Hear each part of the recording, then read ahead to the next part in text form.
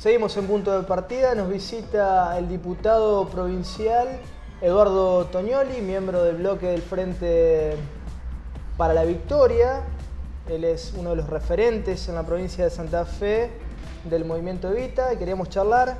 Eduardo, muchas gracias por estos minutos. gracias a vos por la invitación. Acerca de, bueno, de la labor legislativa y también atendiendo a la característica del año. Es un año eminentemente político, eh, por las elecciones y bueno, eh, en principio preguntarte por algunos de los proyectos que sabemos que, que están tratando. Eh, en particular estaba recordando hace unos días uno vinculado a economía social, que es un tema central sobre todo para, para aquellos sectores emprendedores y para las barriadas que, pueden llegar a tener una oportunidad ¿no? Eh, con, la economía social, con los emprendimientos productivos. Sí, eh, nosotros ya hace, desde el año 2012 presentamos, no, 2013, perdón, presentamos una iniciativa, una ley para la provincia de Santa Fe, una ley que la provincia hoy no, no tiene aún, que es una ley de economía social, popular y solidaria, eh, y que pretendía y pretende jerarquizar todo un mundo económico eh, que, de alguna manera contiene a una parte importante del trabajo de los argentinos y en este caso de los santafesinos, ¿no? del trabajo y de la producción. Y que además es un mundo económico eh, y laboral que permite resolverle el problema laboral, vale la redundancia, a un número importante de argentinos pero a su vez, no solo eso, sino que arroja eh, muchas veces soluciones o principios de soluciones a muchos problemas de nuestra vida comunitaria moderna. ¿no? Eh, algunos ese, ese tema me parece central, Leo, porque en una eh, sociedad, en, una, en un momento histórico donde la concentración de la economía, donde los flujos económicos se van concentrando, donde el trabajo eh, tradicional va escaseando, los eh, emprendimientos entran a tomar mayor relevancia. Digo, es una, una beta. hay una parte importante, de, la población económicamente activa de nuestro país que se autogenera su, su fuente de trabajo. Claro. Y esto es un fenómeno no solo argentino, es un fenómeno mundial, es propio de las sociedades postindustriales. Hoy, aún la Argentina habiendo crecido durante varios años, a, como se dice generalmente, a tasa china, ese crecimiento no necesariamente se tradujo eh, en la incorporación de absolutamente todos los argentinos al mundo laboral formal. Hay un 30%, eh, un 30, 33, 35 por ciento argentinos que trabaja en la informalidad. Si bien no se identifica economía social, popular o solidaria, que son tres categorías distintas, directamente con ese mundo laboral informal, gran parte de ese mundo económico transita por la, informalidad y lo que se trata es jerarquizarlo y entender que es algo que vino para quedarse. No estamos hablando aquí de aceptar la pauperización, como se suele haber a veces una mirada pretendidamente crítica, inclusive hasta progresista, eh, en torno a esta idea de la economía popular, la economía social, como que fuera un área marginal, que en realidad el sistema económico eh, en su en, alguna etapa de, buena salud va a liquidar y va a incorporar a esos trabajadores eh, al mundo laboral formal eh, sine qua non, ¿no es cierto? Bueno, esto no es así ni aquí ni en ningún lugar del mundo.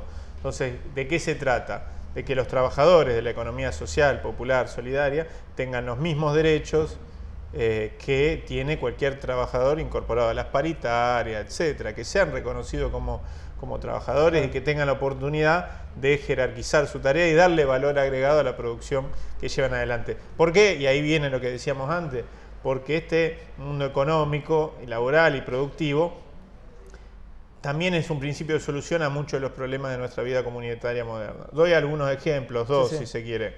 Las ferias populares, los mecanismos alternativos de comercialización, alternativos a la concentración, eh, los comercios de cercanía, eh, etcétera. Pero en este caso, eh, las ferias populares que son netamente nacidas de esta economía social, popular, solidaria, eh, no solo le resuelve el problema al pequeño productor, al pequeño comerciante, al feriante, le soluciona el problema al vecino que de esa manera tiene una herramienta al alcance de la mano para combatir la inflación, el alza de precios. Ese es un ejemplo más que claro.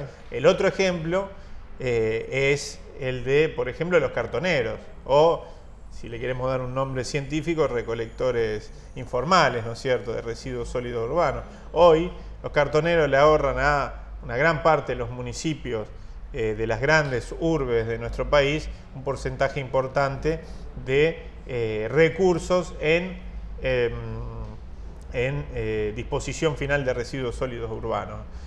Voy a tomar un ejemplo que, tengo a mano, que es el de la ciudad de Rosario. El 20% de los recursos, el municipio se ahorra un 20% de, em, de, de dineros públicos en disposición final de eh, los residuos sólidos urbanos, porque por la tarea que llevan adelante los eh, cartoneros, ¿no es cierto? Y sin embargo, y sin embargo, los cartoneros eh, no tienen ningún tipo de reconocimiento por eso, hacen el mismo trabajo que hace un trabajador de la empresa de recolección de residuos, quizás dedican más horas de su tiempo, y sin embargo recibe una paga 10, 20, 30 veces más baja que la de ese trabajador y no tiene ninguno de los derechos laborales bien merecidos que tienen los trabajadores formales. Sí, sí, es un caso paradójico, ¿no? Es un caso quizás el más claro donde se eh, traducen todas estas contradicciones. Y ahí hay un ahorro concreto y además hay algo más, por lo menos en lo que refiere en este caso al municipio de Rosario.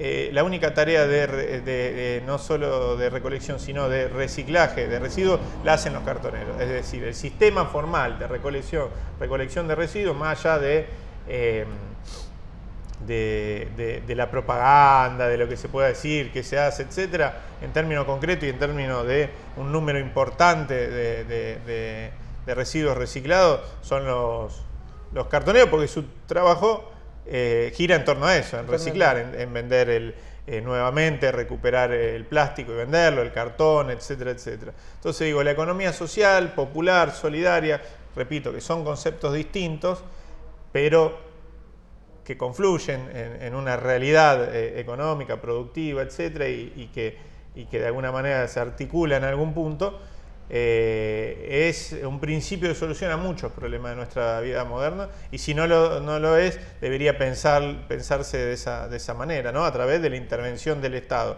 de un Estado que es responsable o corresponsable de haber empujado a muchísimos compatriotas en distintas etapas de nuestro país a la marginalidad o a tener que inventarse algún tipo de, trabajo, de, fuente de, fuente de trabajo y que a su vez debería pensar este área no como un área marginal y sujeto exclusivamente de subsidios, como si fuera eh, una especie de, depósito, ¿no es cierto?, para gente que no puede hacer otra cosa, y pensarlo, eh, pensar a cada uno de estos protagonistas como precisamente eso, protagonistas de un mundo económico que puede transformar realidad. Sí, que puede haber movilidad social ascendente Por aún, aún en ese escenario. Digamos. Movilidad social ascendente y herramientas para mejorar la vida comunitaria y para brindar bienestar al conjunto de la población. De ahí la importancia de la tutela del Estado, por ejemplo, a partir de una ley, ¿no? volviendo a lo que es el proyecto de ley. Sí, de la tutela y básicamente de recursos públicos dispuestos para trabajar en, la materia. Política pública es, eh, como diría eh, don Hipólito Irigoyen, efectividad conducente, ¿no es cierto? Cash, plata, dispuesta para llevar adelante eh, esa política. Si no, son buenas intenciones. Y eso es un poco lo que estamos discutiendo en la legislatura de la provincia nuevamente, luego de que en su momento aprobáramos una ley de economía social, popular y solidaria que eh, fue, eh, nació de la conjunción del proyecto que impulsamos en su momento, en el año 2013, junto a distintas organizaciones ligadas a, este fenómeno, básicamente nucleadas en la CETEP, Confederación de Trabajadores de la Economía Popular, en consulta con, con Enrique Martínez, que es el titular del, Instituto de, de, Producción Popular, ex titular del INTI, alguien que ha desarrollado muchísimo en la materia, y por el otro lado, un proyecto presentado por eh, diputados y diputadas del oficialismo eh, con el mismo objetivo eh, y protagonizado o impulsado por organizaciones del Foro de Economía Social y Solidaria de la provincia de Santa Fe. de la conjunción de esos proyectos nació una ley que tuvo eh, amplio consenso en ambas cámaras, fue votado por unanimidad en diputados, fue votado por unanimidad en senadores el año pasado, fines del 2014, y cuando marchaba su promulgación obtuvo un veto por parte del gobernador. En este eufemismo que es el veto propositivo, que nosotros siempre hemos cuestionado, por lo menos en estos cuatro años de legislatura, porque eh, el veto es una facultad constitucional del gobernador, eh, pero nosotros señalamos que el veto propositivo es un abuso de la figura de la enmienda, ¿no? La enmienda es, una corrección, eh, eh, un, arreglo, ¿no es cierto?, frente a alguna deficiencia en el texto, algún error, eh, etcétera. Pero, pero hablar de veto propositivo y cambiar radicalmente el sentido de algunos artículos y re-redactar algunos artículos, nosotros hemos dicho que si el gobernador quiere hacer uso de la prerrogativa constitucional, que vete directamente la ley. Evaluamos que para no pagar costos políticos a veces se eligen este tipo de, subterfugios. ¿no? No están, de eso, bueno, la, iniciativa vetada con este veto propositivo fue a la legislatura, no, eh, la Cámara de Diputados lo, lo, aceptó, lo aceptamos los diputados básicamente porque un número importante de organizaciones de la economía social, popular y solidaria nos plantearon frente a esta situación negativa a todas luces, que se aprobara y que de alguna manera lo que restaba, que era ni más ni menos que el presupuesto, fuera peleado sucesivamente en adelante hasta obtener realmente un presupuesto acorde con, lo que el área necesita. Sin embargo, después el Senado, en ese mes que tiene el veto propositivo para ser tratado, después del, primero, eh, del primero de mayo, eh, del día en que se abre la sesión ordinaria, eh, no lo trató y finalmente cayó el veto y cayó la ley y por lo tanto se vuelve eh, a, proponer, este, este, proyecto. Es lo que hicimos hace algunas semanas, el oficialismo hizo otro tanto, incorporando un proyecto con ese veto ya incorporado, con los aspectos de ese veto, y estamos en plenas negociaciones, tratativas, que no nos incluye solamente a nosotros y al oficialismo, sino a los actores eh, de la economía social, popular y solidaria para ver si antes de fin de año podemos lograr nuevamente una ley y que esta vez no, haya un veto de por medio. Ojalá pueda cristalizarse porque es una legislación sumamente necesaria. Te propongo, Eduardo, hacer una breve pausa y ya retornamos para seguir hablando aquí en punto de partida de política. Ya venimos. Se cuenta que desde el origen de la humanidad fue la madre naturaleza la que nos cuidó, la que nos supo contener y albergar, y la que nos proveyó de nuestros alimentos.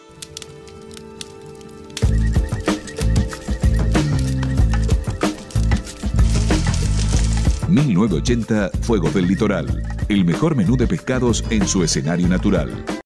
Sumemos acciones para una ciudad más preparada. Consejo Municipal de Santa Fe, el consejo de todos los santafesinos. El agua es parte de nuestra vida. Conservémosla. Hidroplast